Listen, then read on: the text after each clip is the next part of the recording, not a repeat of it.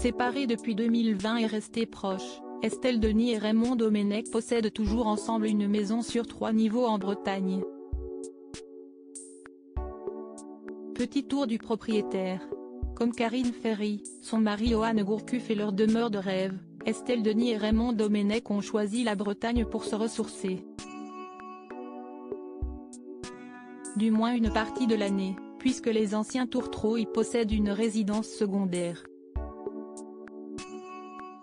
Une maison moderne, surplombant le vieux port de Saint-Quay-Portrieux dans les côtes d'Armor, comme le révélaient nos confrères du Parisien qui s'étaient rendus sur place il y a quelques années.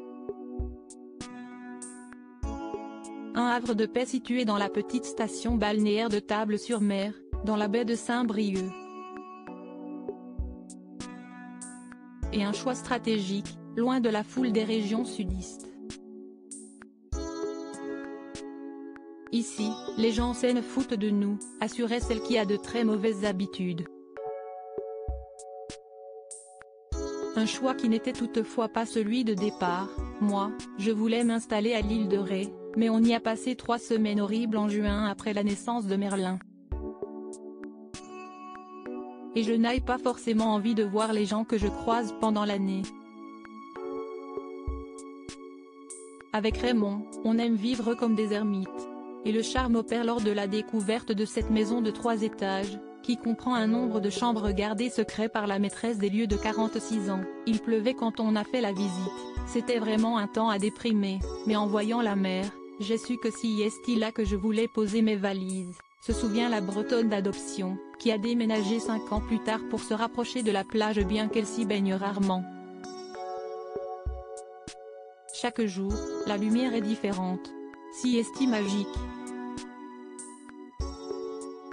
Un lieu qui bénéficie d'une vue très dégagée, notamment grâce à des travaux effectués pour élargir les fenêtres et voir la mer depuis la cuisine.